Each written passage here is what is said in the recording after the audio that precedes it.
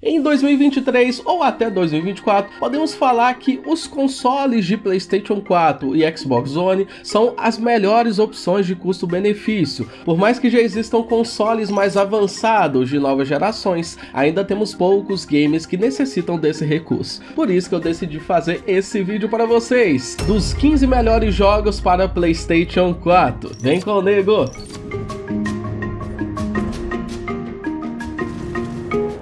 Rapaziada, Neguinho na área, sejam todos bem-vindos galera, seguinte, estamos aqui no canal do Nego e hoje é dia de jogos para console. Comenta aí, qual é o seu jogo favorito para Playstation 4? Eu vou estar tá respondendo todo mundo, todos os comentários. O primeiro jogo é o The Last of Us Parte 2. É um jogo de ação e aventura em que controlamos uma garota chamada Ellie e ela parte na sua jornada em busca de vingança. O motivo dessa vingança é claro que eu não vou contar para vocês, porque temos ali uma narrativa no jogo. Também temos o personagem chamado Joel, que vamos controlar e jogar com ele. E esse jogo ele é muito conhecido pela sua história envolvente e muito emocionante, além da realidade realidade que esse jogo tem, rapaziada, que eu nunca vi expressões faciais melhores. Realmente, The Last of Us Parte 2 vale muito a pena você jogar no PlayStation 4.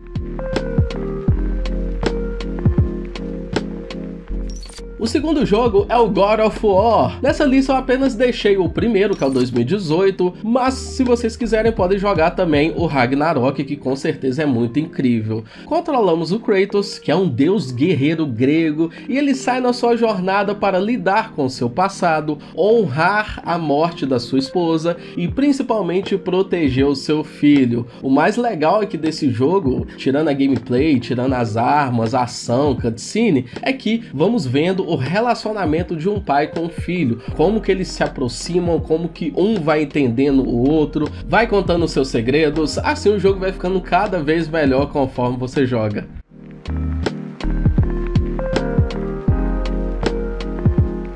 Terceiro jogo se chama Bloodborne. É um RPG desenvolvido pela From Soft, daquele estilo Souls-like, estilo jogo bem difícil, para quem gosta de enfrentar inimigos aterrorizantes, enfrentar certo bosses e principalmente gosta de um desafio. Esse daqui vai ser o jogo certo para você.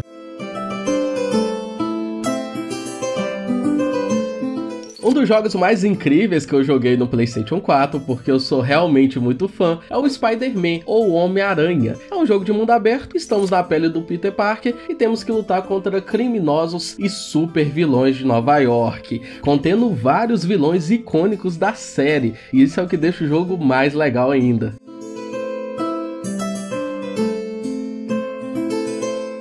Um jogo até meio injustiçado, mas eu tenho que colocar aqui nessa lista, é o Days Gone. Ele é mundo aberto, num universo meio que pós-apocalipse, em que temos ali alguns infectados que são meio que zumbis. O mundo ficou dividido por vários grupos, como se fosse um The Walking Dead ou até um The Last of Us, que é o melhor exemplo que tá em alta agora, né, para falar para vocês. E o nosso personagem ele se chama Deacon, eu acho que é assim mesmo que pronuncia, tá, galera? Ele é um andarilho, um caçador de recompensas recompensas, que segue seu caminho lutando para sobreviver e ao mesmo tempo busca uma razão para viver.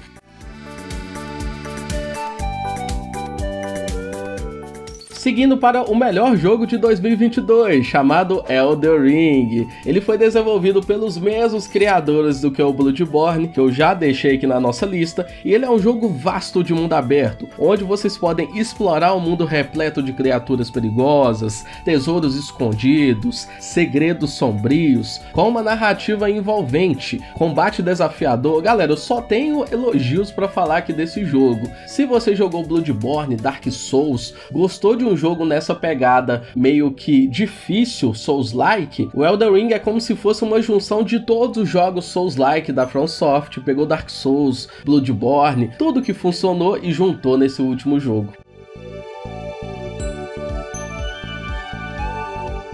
Mudando um pouquinho a pegada aqui dos nossos jogos, temos o Detroit Become Human, que é um jogo de narrativa. Tudo que você fizer no jogo vai impactar na história final dele, vai impactar no seu destino. É um jogo de escolhas que você vai ter que lidar com as suas consequências das suas ações. Esse jogo bacana dele é que você controla androides futuristas dessa cidade, e nisso vai envolvendo a temática do jogo. Se você concorda ou não com os androides terem uma uma vida própria, uma cidade própria, um lugar apenas deles. E por fim, tudo vai se encaixando e você que vai decidir o que você vai fazer com a história. Lembrando que o mais legal aqui desse jogo é você zerar ele várias vezes, fazendo vários finais diferentes.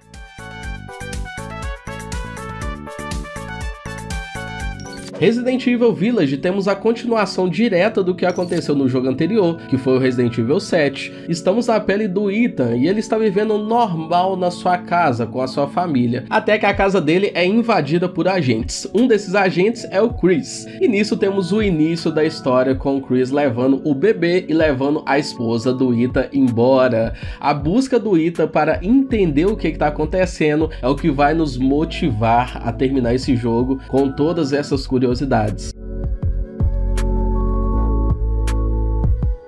Final Fantasy VII Remake é considerado um dos melhores remakes já feitos. A história se passa na metrópole de Midgar e acompanha o mercenário Cloud, que se junta a um grupo em uma tentativa de impedir que uma poderosa megacorporação use a essência vital do planeta como fonte de energia.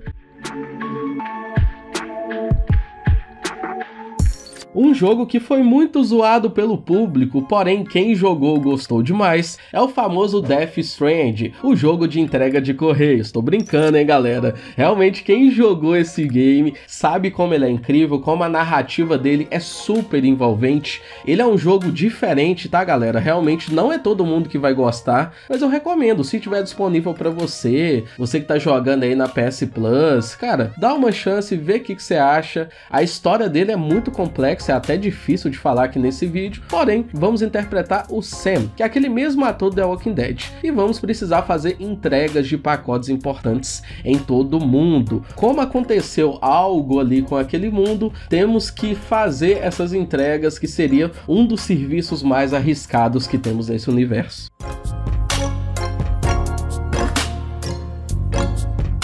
Ghost of Tsushima é um jogo que controlamos um samurai chamado Jin e ele luta contra invasores que exploram essa ilha. Temos que basicamente proteger ela e fazer tudo que tem ali nessa ilha. O jogo é conhecido por sua jogabilidade de combate de samurai, sua bela paisagem e uma história épica.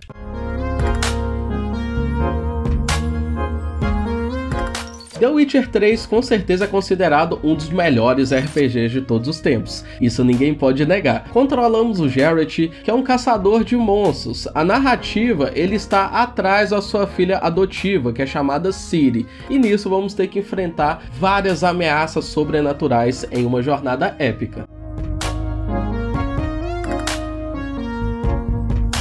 Red Dead Redemption 2 é outro jogo que dispensa comentários e ele tem que estar tá aqui na nossa lista. Com certeza ele é considerado um dos melhores jogos de mundo aberto de toda a história. O local do game é baseado na América do Oeste no fim do século 19 e controlamos um personagem chamado Arthur Morgan. Ele vai ter que lidar com todos os problemas que temos ali dos seus acampamentos, da sua equipe e também lidar com a sua família.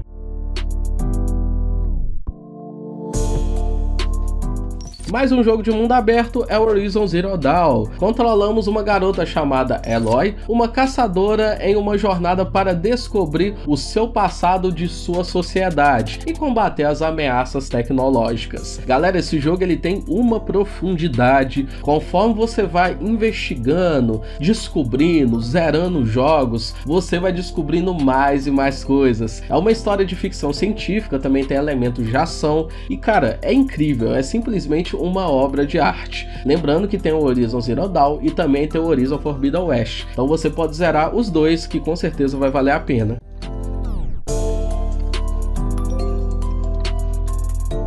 E agora, por último, um dos jogos que eu mais gosto é Uncharted 4. Sim, galera, um dos meus favoritos de todos os tempos. Ele é aquele famoso jogo que não tem muito segredo. Simplesmente você vai pra frente, faz uns mini puzzles, derrota os inimigos, chapa tira em todo mundo. E é isso, velho. Para quem não jogou nenhum, controlamos o Nathan Drake e ele sai na sua aventura explorando tesouros antigos e enfrentando inimigos perigosos. Ele é como se fosse um caçador de recompensas. Então ele recebe um mapa e ele vai lá e tenta pegar um tesouro, passando por vários e vários obstáculos. Para você que quer um jogo tranquilo, para você jogar deitado, relaxar e ainda assim ter muita ação, Uncharted vai ser o melhor disparado aqui dessa lista.